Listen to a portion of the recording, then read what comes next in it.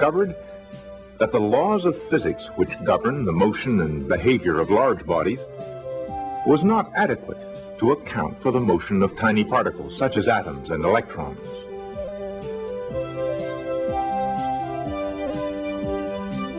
With his model, Bohr could explain the behavior of atoms with one electron. But he could not predict the radiation spectrum observed for other, more complex atoms. The seeds of a new model would come from the concept that all forms of electromagnetic radiation exhibit the properties of waves and particles.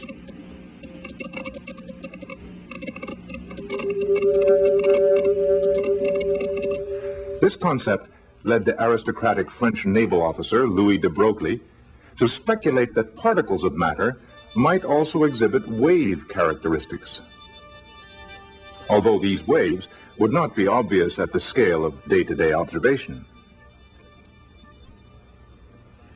Even in the bathtub, we can see two waves interact to produce a larger wave, then pass right through each other without injuring each other. Imagine two particles like a baseball and a bat, somehow becoming one, then passing right through each other.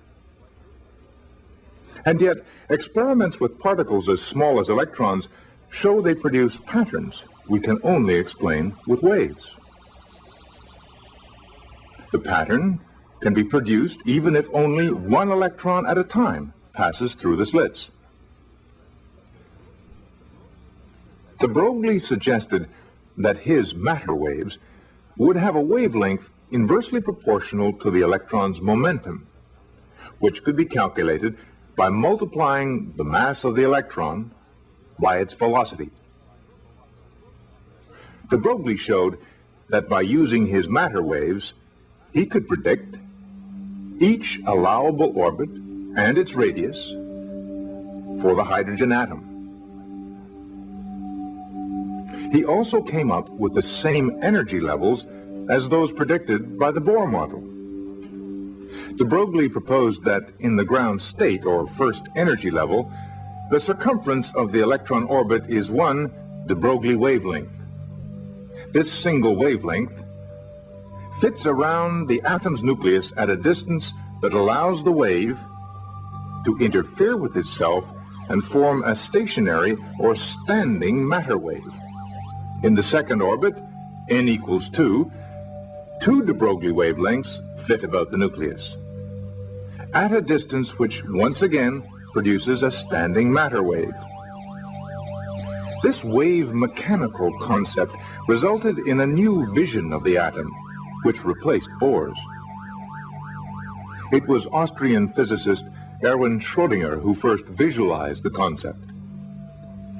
He proposed an atom with a positively charged nucleus surrounded by a spherical cloud of electron waves. Werner Heisenberg, working with Max Born in Germany, arrived at the same model of the hydrogen atom as Schrödinger, but on the basis of different physical assumptions and using different mathematics.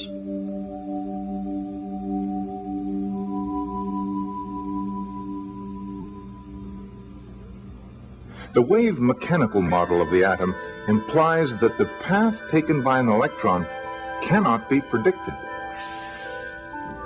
and that the position of an electron at a particular instant can only be stated as a probability. The most dense part of the cloud is where the probability of locating an electron is greatest.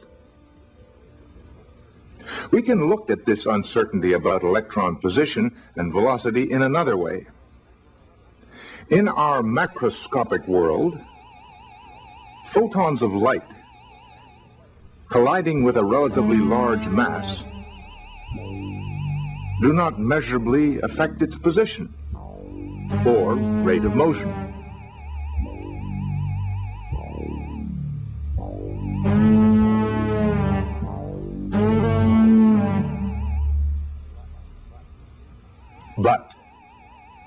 Photons striking an object as tiny as an electron will have an effect. The means used to determine the position of the electron, light, is close to the scale of an electron. As a result, a collision between photon and electron can alter the electron's velocity. Conversely, methods of measuring electron velocity make its position uncertain. Heisenberg's uncertainty principle explains why the position and momentum of an electron in motion cannot be measured simultaneously with great precision. In other words, there is a natural limit to the accuracy of certain kinds of measurements. Mathematically, the uncertainty principle is this. The uncertainty in position times the uncertainty in momentum equals Planck's constant. As the uncertainty about one shrinks, the uncertainty about the other has to grow to keep the equation balanced. The wave mechanical model further extended the concept of the quantum. Originally, it had been used to describe bundles of radiation that could only have certain discrete permissible energy levels.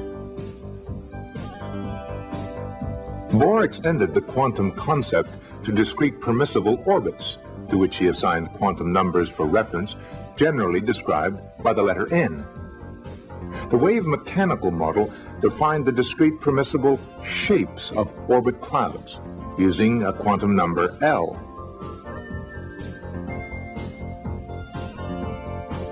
The orientation of that shape in space using quantum number m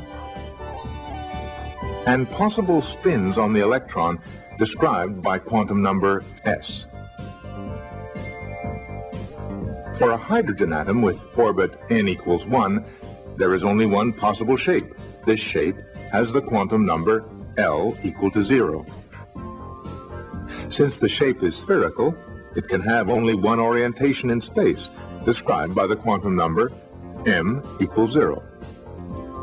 Hydrogen with only one electron can only ever have one spin, s equals 1 half, so we will ignore it after this example. When n equals 2, two shapes are possible. L equals 0 and L equals 1. This second shape can have several orientations in space. m equals 1, m equals 0, and m equals minus 1. Using this simple set of quantum numbers, an ever more complex set of energy states can be described, not only for the hydrogen atom, but at last, a method had been found for describing the more complex energy states of multi-electron atoms, and also for multi-atom compounds.